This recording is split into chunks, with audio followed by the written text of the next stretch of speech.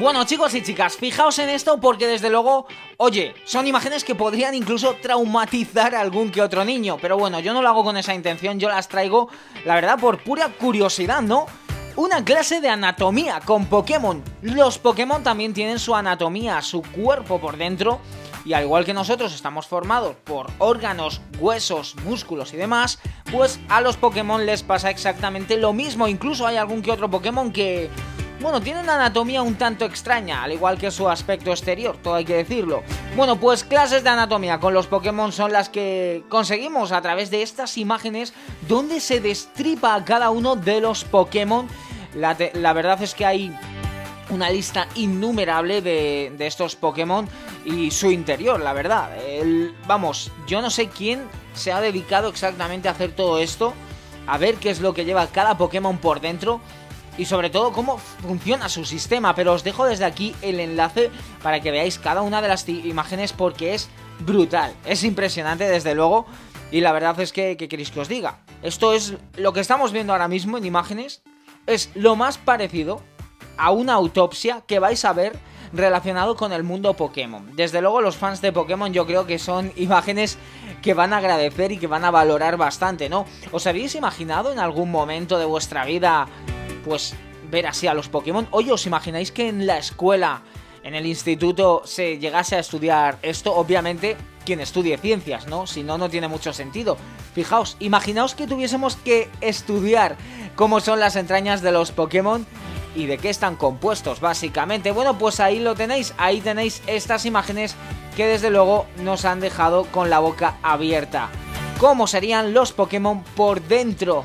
El artista DeviantArt Christopher Stoll ha recreado precisamente cómo sería la anatomía de algunas de las criaturas de Game Freak. Eh, su proyecto además es llegar a hacer un almanaque que recopile la de todas las criaturas de la Pokédex. O sea que imaginaos el trabajazo que tiene Christopher Stoll de DeviantArt con, bueno, pues, con el proyecto que se propone. Os dejo como siempre el enlace para que podáis observar esas imágenes fanáticos del mundo Pokémon.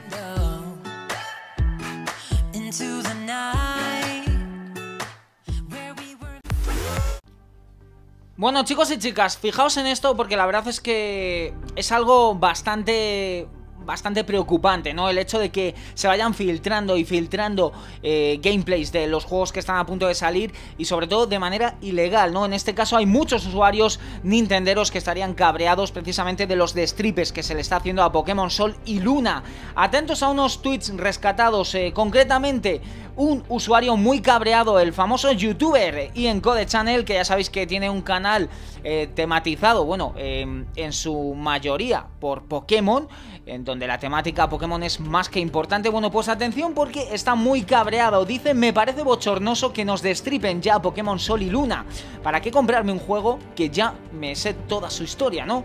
Flipo. Esa es eh, su, bueno, su lo que plantea, ¿no? Su cabreo monumental. Y fijaos que le contestan otros eh, youtubers, otros seguidores de Twitter, dicen, yo es que no entiendo a esta gente. ¿Es necesario irle spoileando a la gente eh, todo el juego? ¿No se pueden quedar callados? Eh, bueno, y en Code Channel contesta, pues tiene pinta de que no. Menos por descubrir, oye, maravilloso. El cabreo está garantizado, ¿no? En esta gente. La conversación continúa, fijaos, ahí tenéis todo. Claro, si ahora ponen para que lo tenga todo el que tenga la 3DS hackeada, yo me voy a comer una mierda, ya que tendré que esperar al 18 para jugar cuando los hackers lo tengan 10 días antes. Tío, que yo no soy europeo. Eh, bueno, luego Code dice, yo estoy esperando, dice de broma, que lo saquen los hackers. Eh, más alguno que publica a dar retweet a las imágenes, dice otro, otro usuario, así no se puede dar una pasada tranquilo por aquí. La verdad es que en definitiva ahí tenéis las conversaciones, los usuarios estarían bastante cabreados de las mm, diversas filtraciones de esos gameplays que se van publicando y de la gente que de manera ilegal ya está disfrutando del juego. Y lo peor de todo, la crítica va sobre todo para los que están compartiendo las imágenes con el fin de spoilear las partidas. Eh, los usuarios hasta el próximo día 18 no podrán jugarlo de manera legal. Quizás Nintendo tendría que adelantar el lanzamiento del juego de algún modo para ser justa con los usuarios que legalmente sí van a pagar por él. Bueno chicos y chicas, los que conozcáis bien este canal sabéis que me gusta traer maravillas creadas por los usuarios Maravillas como la que veo ahora, porque la verdad es que dan ganas de verdad de ponerse de rodillas y agradecer a este usuario que haya creado algo así, ¿no? Utilizando el motor gráfico Unreal Engine 4 ha vuelto a recrear lo que desde luego fue un icono, un hito en el mundo de los videojuegos, ¿no? Mi, mi videojuego preferido, por excelencia, The Legend of Zelda Ocarina of Time que claro, bueno, vosotros seguramente al igual que yo lo recordaréis como en Nintendo 64, igual alguno lo recuerda también como en Nintendo 3DS que ha tenido esa versión más reciente y más pulidita, pero desde luego, imaginarlo como lo estamos viendo ahora, yo jamás en la vida de verdad lo habría imaginado. Ya vimos hace mucho tiempo alguna imagen que había creado también algún usuario eh, con un Real Engine 4, pero desde luego esto es brutal. O sea, es que ahora mismo parece realmente que el juego estuviese acabado, terminado por completo, pero no es así. Bueno, un usuario de YouTube ha estado trabajando con la última versión de Unreal Engine 4 y en esta ocasión ha querido mostrar en alta definición The Legend of Zelda Ocarina of Time y sobre todo con este detalle que nos trae, ¿no? Uno de los títulos de eh, la saga de Nintendo más popular, ¿no? En su momento 2011 consiguió una remasterización para 3DS, ya sabéis, pero en ningún momento nos podemos imaginar que pueda llegar algo así para una consola de sobremesa, una remasterización tan currada, ¿no? Bueno, hay que agradecerle esto al señor Crysenx, que es el jugador que, bueno, que ha hecho posible esto, ¿no? Trabajar con el motor gráfico Unreal Engine 4 y traernos esto. Un resultado que impresiona. Un vídeo que la verdad es que de verdad esa llanura de Ocarina of Time completa, eh, la música, todo, o sea, todo lo que ha usado realmente recuerda, parece que estuviésemos jugando en aquella época, pero claro, lógicamente con gráficos más acordes a lo que hay hoy en día. ¿Os imagináis, chicos y chicas, os imagináis un The Legend of Zelda Ocarina of Time remasterizado de, de esta forma para la próxima Nintendo Switch? ¿No pensáis que podría ser un gran éxito? Que un juego tan icónico, un juego como Ocarina of Time, que creo que todos los jugadores deberían de probar y jugar en algún momento, porque creo que es... Si los videojuegos fuesen una asignatura, sería el tema número uno de aprender. The Legend of Zelda Ocarina of Time, de verdad, para mí es que alabo siempre este juego y me parece brutal, me parece impresionante cómo se muestra con el Unreal Engine 4, qué bonito y de verdad, mis felicitaciones máximas a este usuario. Os dejo el enlace de la noticia original, como siempre, para que podáis ver el vídeo en su totalidad y en todo su esplendor. Bueno, pues seguimos pendientes de esa Nintendo Classic Mini NES que llega este próximo viernes y la verdad nunca, jamás yo creo que habíamos estado tan pendientes y tan expectantes ante, bueno, pues la reedición de una máquina o, por así decirlo, el homenaje que se le hace a una antigua consola, en este caso a la NES. Bueno, eh, yo la verdad es que estoy que me tiembla hasta la mano, ¿eh? Tengo ganas de tener esa consolita tan bonita en mi cuarto, en mi saloncito y jugar a esos juegos que, bueno, pues que tantísima nostalgia eh, inducen, ¿no? Bueno, pues atentos porque ahora la noticia es que Nintendo Classic Mini va a contar con un emulador basado en Linux. Faltan tan solo unos días para la llegada de la consola y atención porque esta consola que marcó la década de los 80 en su nueva versión, en su nuevo homenaje, ya tiene sus especificaciones técnicas, algunas las hemos repasado aquí en el canal y aquí tenemos otras de ellas. Atentos porque entre todas ellas lo que ha llamado muchísimo la atención es la inclusión de un emulador basado en Linux para ejecutar los juegos que lleva preinstalados. Hay que recordar que son 30 juegos preinstalados y sin posibilidad en principio de ampliarse, aunque ojito porque esto habrá que verlo, ¿eh? La memoria RAM es superior a la de Nintendo 3DS y Wii, puesto que Nintendo Classic Mini da la posibilidad de reproducir gráficos en alta definición, gracias a usuarios como Game Explain, eh, que ya han probado de primera mano la nueva consola de Nintendo, se han podido saber con exactitud todas esas especificaciones. Nintendo Classic Mini se pone a la venta el próximo día 11 de noviembre. Y por cierto, ahí estamos viendo esos Pokémon por dentro, que es otra de las noticias que se pueden consultar ya en el canal y que la verdad es que han llamado bastante la atención. Pero nos quedamos con la Nintendo Classic Mini que llega el próximo 11 de noviembre. ¿Qué os parecen las especificaciones? ¿Qué os parece? ¿Vosotros pensáis que se quedará tan solo en esos 30 juegos iniciales o tendremos más juegos próximamente?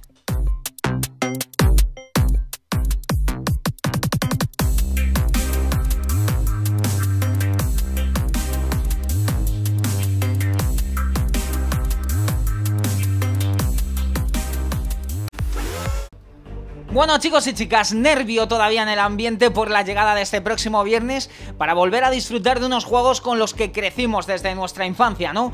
Estamos hablando de el regreso de esos juegos que va a llevar dentro en su interior esa Nintendo Classic Mini que en esta ocasión vuelve a ser noticia. Ya ayer decíamos que la consola al parecer habían abierto sus tripas y se había descubierto que era más potente que Nintendo 3DS en su arquitectura, algo curioso, ¿no? Bueno, pues atentos porque en esta ocasión la noticia va todavía más allá se han abierto sus tripas. Aquí las tenemos y atentos a las diferentes comparativas porque se descubre ahora que en algunos aspectos, como podéis observar en la comparativa, es incluso bueno, técnicamente en sus especificaciones más potente que la propia Wii. Sí, como lo estáis escuchando. Algo que muchos, eh, pues la verdad es que van a estar bastante reacios a creerlo, ¿no? Sobre todo por el precio que tiene esta NES Mini, ¿no? Esta Nintendo Classic Mini NES. Un precio bastante reducido, ¿no? 60 eh, euros y además con 30 juegos incluidos. Eh, bueno, pues ahí tenéis especificaciones del desarrollo de una Classic Edition y atentos porque la verdad es que mm, la comparativa la podéis observar claramente en algunos aspectos supera a Wii, esa NES Classic. Muchos se están preguntando por qué le han querido dotar de tanta potencia, qué tiene en mente Nintendo después de esta consola. ¿Se podrá actualizar? ¿Se podrán descargar juegos posteriormente? Obviamente previo pago. Bueno, pues ya veremos qué es lo que depara el futuro de esta, bueno, de esta consola que la verdad es que yo creo que viene realmente como un guiño, ¿no?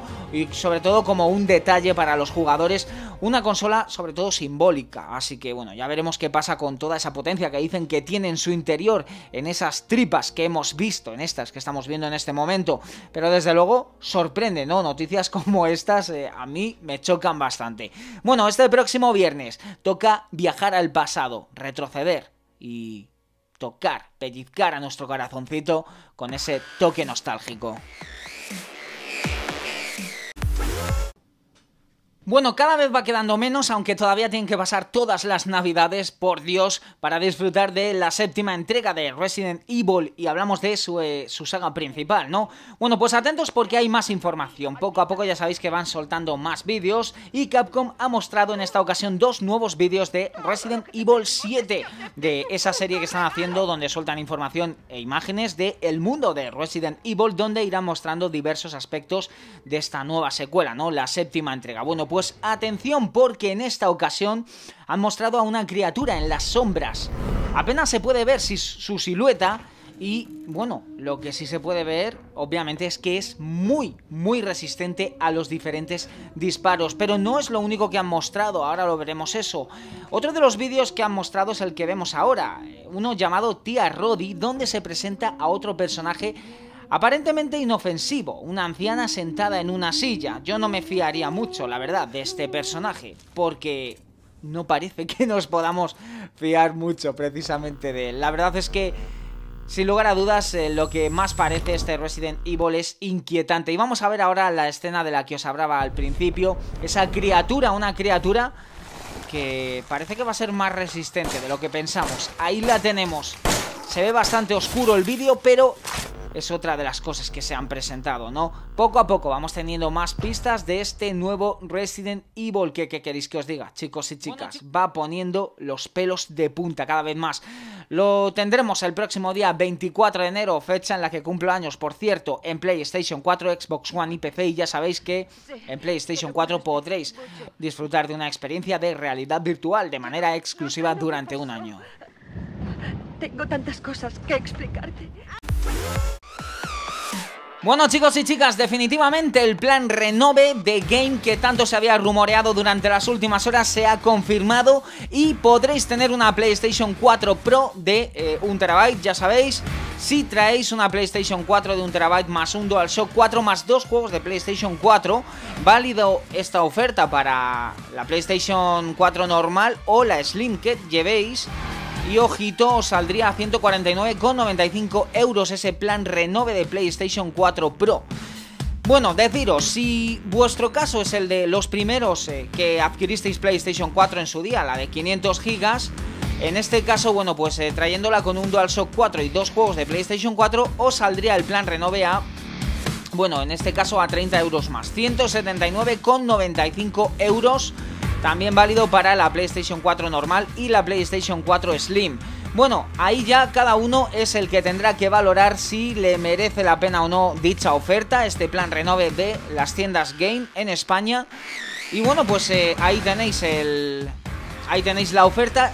Repito, cada uno valorará si le merece la pena o no. Igual, incluso es mejor quedarse con la PlayStation 4 original y bueno, buscar la forma de comprar esta PlayStation 4 Pro o igual alguno todavía no ve ventajas en esta nueva versión de PlayStation 4. Pero bueno, que sepáis que la oferta está ahí, que por fin ha salido y que la consola, bueno, la tendréis a partir del próximo día 10, esta semanita. Quedan muy poquitos días. Bueno, importante semana y días interesantes en los que se genera una gran incertidumbre por la llegada de PlayStation 4 Pro y la potencia que vamos a ver realmente en los juegos. En esta ocasión vamos a hablar de una consola que llega el próximo año, ese Project Scorpio. Atentos porque se ha producido una polémica en torno a la potencia de las nuevas máquinas presentadas por Sony y Microsoft, ya sabéis, lejos de ahondar en estas discusiones, Microsoft mantiene su rumbo para hacer llegar la consola más potente jamás creada. Sus 6 teraflops se han convertido en un dato referente en este ámbito, donde la propuesta global plantea planteada por Microsoft es la que apunta a ofrecer grandes ventajas para el futuro de este nuevo hardware. Y atentos, porque es así como un medio ha desvelado que en los planes de Microsoft se encuentra el desplegar la potencia de Project Scorpio para ofrecer una integración total en su estructura, creada en torno a las UVP, las Universal Windows Platform, tal como habría comunicado dicho medio Hoy día Project Scorpio estaría ejecutando juegos UVP de Windows 10 a 4K sin ningún problema, poniendo como ejemplo Gears of War 4, tal como postula dicha noticia. Project Scorpio ejecutaría juegos UVP de PC y Xbox One a 4K de forma totalmente nativa, todo gracias a la tecnología y potencias obtenidas de su configuración.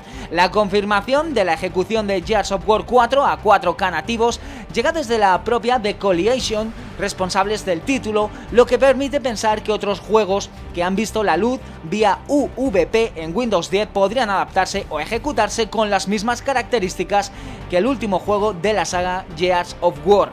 De este modo podremos eh, pensar que el trabajo de Microsoft va a deparar un resultado sobresaliente cuando vea la luz. Podremos tener una consola realmente potente, esa Project Scorpio, que repito, llega dentro de un año.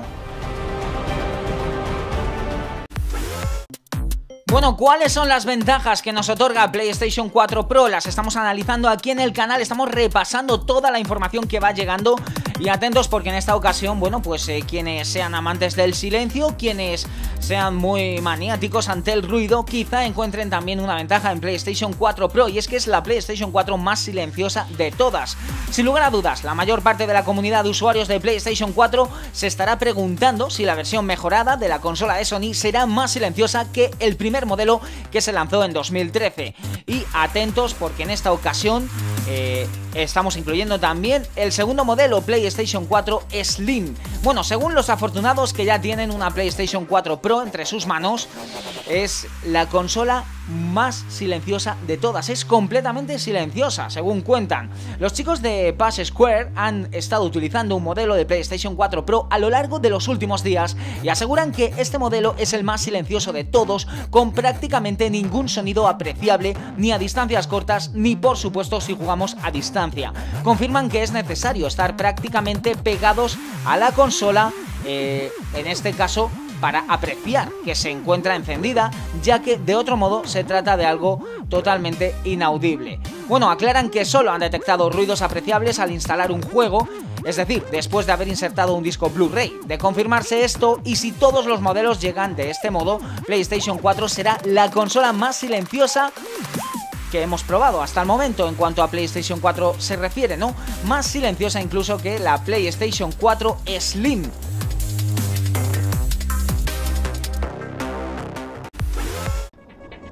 Bueno, ya está aquí, ya llegó, es PlayStation 4 Pro y ya sabéis que todas las miradas están durante toda esta semana puestas en esta nueva versión de PlayStation 4. ¿Merece la pena la compra de la consola o no? Vamos allá con las valoraciones de los medios internacionales. Time le otorga un 5 sobre 5. Le han otorgado la mejor nota posible, alegando que es imposible ignorar lo impresionante que es tanto por el precio como por el momento en el que llega al mercado.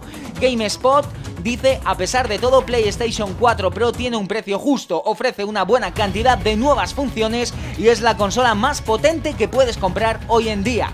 IGN le otorga un 8,5 sobre 10 PlayStation 4 Pro, dicen, es una máquina con aspecto premium que ofrece un montón de potencia extra para que los desarrolladores lo aprovechen, pero hoy por hoy, incluso en una gran televisión 4K, las diferencias a veces no son lo suficientemente grandes para hacer que los usuarios de la PlayStation 4 original se pongan celosos.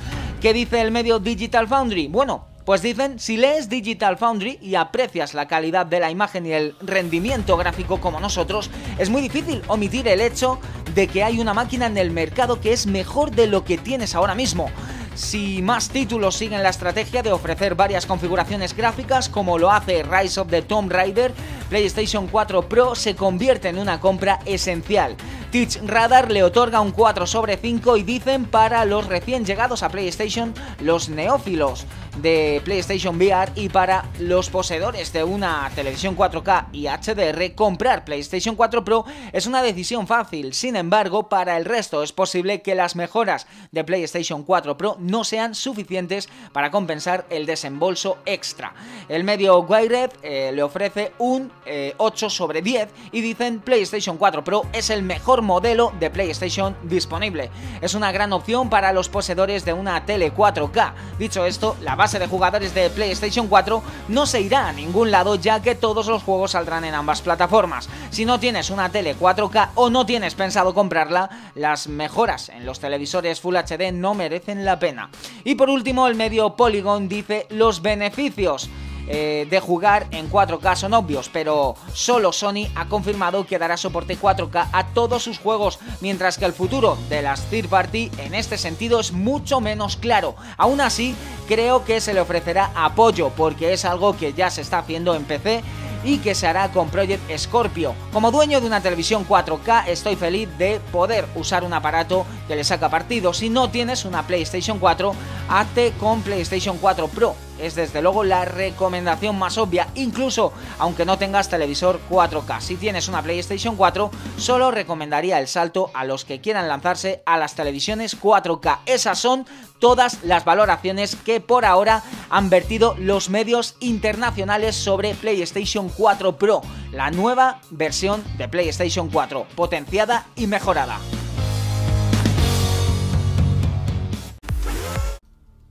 Bueno, mucha atención a esto, chicos y chicas. Ahora no es. no se trata de ver imágenes, no se trata de ver trailers ni de ver fotografías, se trata de escuchar lo que os voy a contar porque se trata de un artículo muy interesante sobre cómo funcionan las mayores comunidades de tramposos de Steam. Hay jugadores que utilizan trampas, sí, los llamados cheaters, especialmente en juegos competitivos, arruinando la experiencia del resto de jugadores por tratar de inclinar la balanza a su favor, ¿no?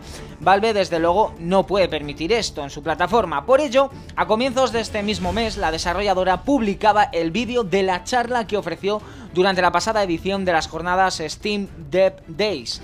Es una exposición de unos tres cuartos de hora de duración donde Simon Alley y Ernie eh, Rautava eh, de Easy Anti-Cheat dan las siguientes claves para conocer mejor lo que se mueve por los rincones oscuros de Steam, tal y como desgrana el medio Kotaku. Atentos porque, según cuentan, muchos de los tramposos no son maliciosos, en el sentido de que no quieren hacer que otros no disfruten, simplemente son jugadores egoístas que quieren su provecho a toda costa. Al parecer, cuando no tienen la conciencia tranquila, la paranoia asoma su, sobre su fea cabeza, ¿no? Algunas comunidades de tramposos son muy selectivas, tanto que hacen incluso entrevistas a través de Skype a sus futuros miembros. Algunas hasta piden documentos como pasaportes para verificar su verdadera identidad, pero también para poder seguirles el rastro más fácilmente. La verdad es que son, datos que en esta ocasión recababa Kotaku a los cuales añadimos también que algunos mecanismos para hacer trampa tienen disponibilidad limitada y por ello solo se ponen a disposición de usuarios en cierto prestigio con códigos eh, privados, eh, bueno, digamos que se puede llegar a rondar un coste de hasta mil dólares. Ojito con esto, ¿no? Eh, los culpables de la distribución de estos mecanismos son, paradójicamente, propietarios de negocios legales en toda regla, que pagan sus impuestos y que tienen todo en orden. Los juegos gratuitos o de bajo coste y los obtenidos con bundles son más susceptibles a las trampas debido a que es fácil que estos usuarios compren múltiples copias del juego. Así como hay tramposos, hay una parte de la comunidad de Steam que actúa como guardianes justicieros a la caza de estos tramposos para cobrarse venganza. Y bueno, pues eh, la verdad es que siendo conscientes de estos, de estos datos, de estas cosas que suceden, bueno, pues la verdad es que miras la plataforma Steam ya de otro modo, ¿no? Pero bueno, siempre habrá jugadores tramposos. Eh, la charla es bastante interesante. Quien quiera ampliar información, como siempre tenéis el enlace en la de la noticia original en la descripción de este mismo vídeo.